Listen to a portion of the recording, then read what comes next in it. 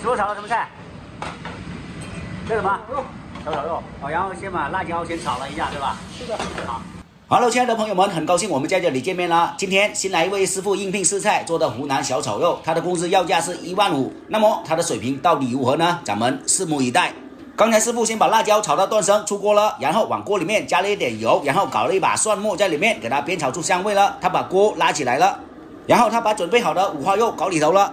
哦，不对，这个不是五花肉啊。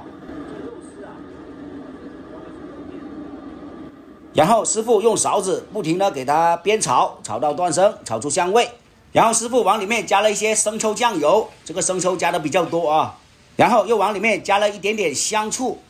紧接着，师傅又往里面搞了一点点美极鲜酱油，然后师傅转身又搞了一点生姜末在里面，给它煸炒出香味，炒出香味均匀上色以后呢，他把之前炒好的辣椒也搞里头了，然后他一直保持中小火，用他并不是特别娴熟的翻锅手法，一直给它不停的翻炒。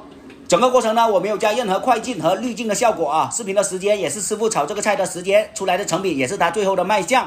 麻烦大家看一下应聘一万五的大厨，他的水平到底如何？